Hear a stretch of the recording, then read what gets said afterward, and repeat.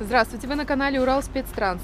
Большинство автомобилей используются в суровых климатических условиях при низких температурах зимой. Компания Урал Спецтранс предлагает услуги по доработке серийных грузовиков а, для работы в северных условиях. Володя, скажи, вот эти северные опции, вот как ты как опытный водитель, они нужны или это водители потом уже как-то дорабатывают сами, все кабины утепляют, может какие-то коврики себе подкладывают? Ну, Коврики, конечно, подкладывают, но утепление лишнего не, не- не мешает. Как бы хорошее утепление, фольгированный материал. В Якутии без двойного остекления даже машина там не ездит, можно сказать. Это очень сохраняет тепло. Ну, вот то, И что, то, автономные печки очень хорошие. то, что мы делаем, этого достаточно, или они потом еще водить, или вы, ну, Не, потом еще какую-нибудь ветошью там? Или вообще голая машина будет, или Ну, таких же не ездит, наверное, на севере, голых-то. сами утепляют. А как Или сами утепляют? Да то же самое можно сказать. Или войлоком, может быть, кто-то делает. Раньше, я знаю, делали войлоком. Здравствуйте, Константин. Добрый день. Расскажите, пожалуйста, вот что входит в работы в установ- по установке северных опций? Штатная машина идет от минус 40 до плюс 40, завод выпускает. Большинство наших клиентов просят еще дополнительно утеплиться. По этой машине а, обклеили кабину изнутри материалом пинофол.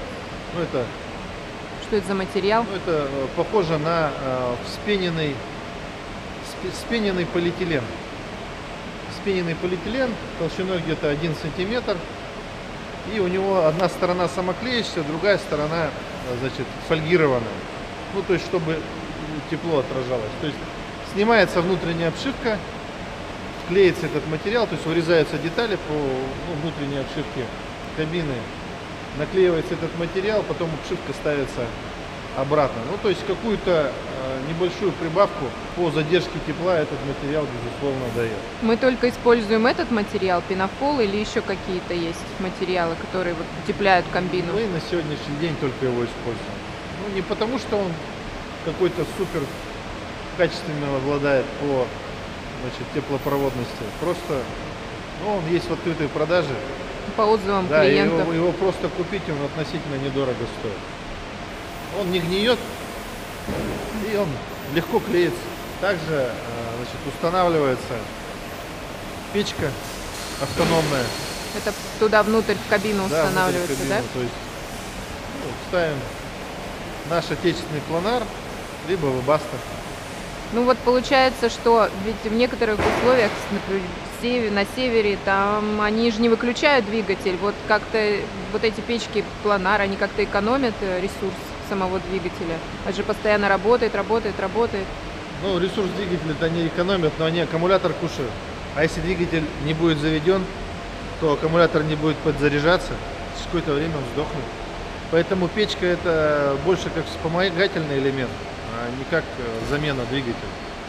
А. Вот. То есть иногда просто, когда совсем холодно, э, важнее тепло двигателя оставить в двигателе, чтобы он ну, в нормальном режиме работал. Потому что если двигатель будет э, не- недогретый, то есть это и потеря мощности, и перерасход топлива. Поэтому печка с двигателем ее как бы связывать не надо. Это дополнительный элемент. А что-то с аккумулятором в аккумуляторном отсеке что-то делают, утепляют его. Ну, аккумуляторы тоже утепляют тем же пенофолом. Вот, иногда э, под аккумулятор тоже пропускают змеевик от системы охлаждения двигателя. Но это больше меры такие, как бы, вспомогательные тоже. То есть, насколько они эффективны оценить не берусь.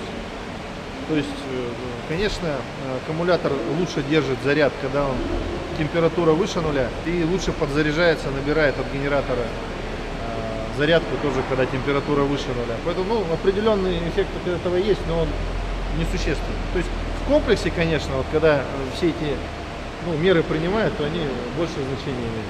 А при низких температурах с топливом что происходит? И вообще для этого что-то предусматриваем мы?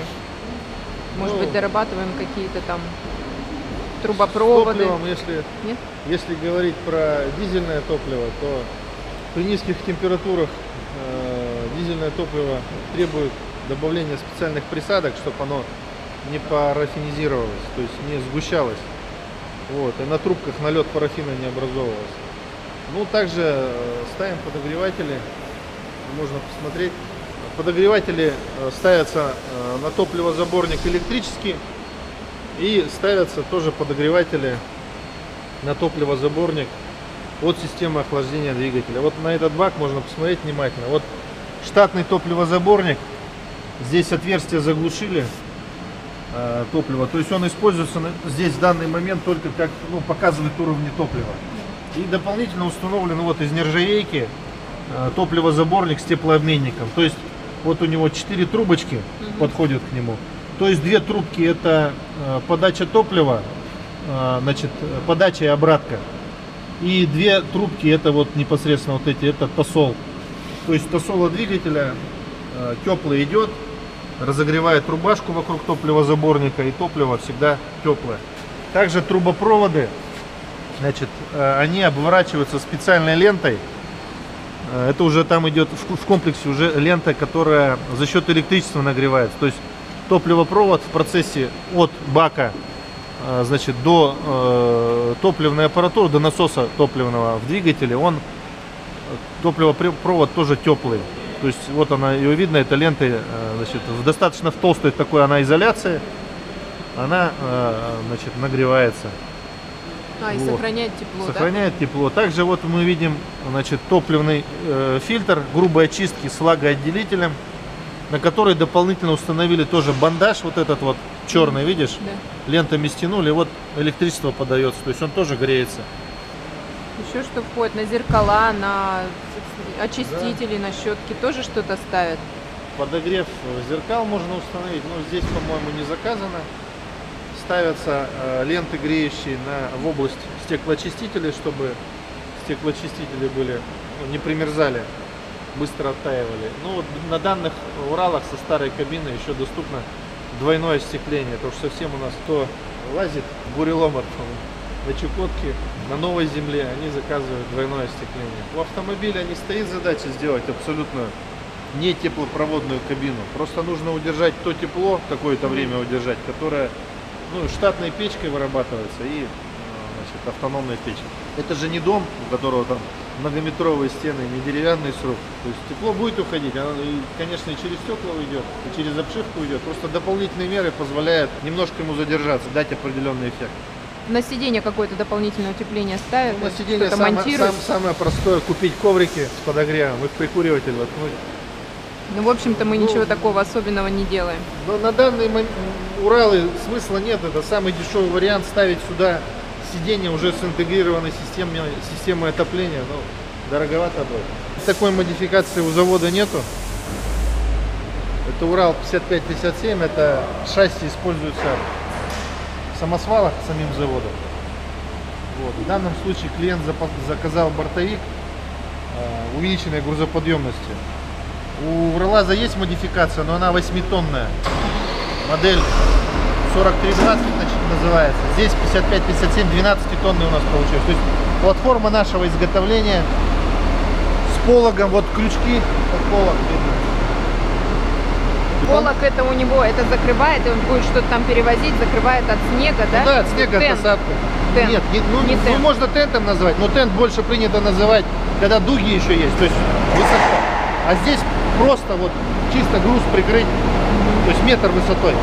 А мы еще эту кабину перекрашивали, докрашивали по требованию, да, по просьбе клиента. Да, у заводе сейчас такой машины не оказалось такого цвета, она была синяя. То есть вот мы ее пе- перекрасили в защитный цвет, ну и, и бортовую площадку сразу сделали защитную. Также две лебедки установили, штатную механическую заднюю поставили. А две лебедки ему зачем? Ну, боится застрять, на, на рыбалке ездит сейчас. И переднюю поставили электрическую лебедку на 5,5 тонн.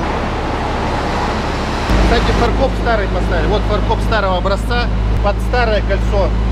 Ну, то есть, кто ездит по бездорожью с прицепом, вот именно такой фаркоп заказывает. Все, ладно, спасибо, Константин. До свидания. Пока все. Не забывайте подписывайтесь на канал Урал Спецтранс и оставляйте свои вопросы в комментариях. Всем пока!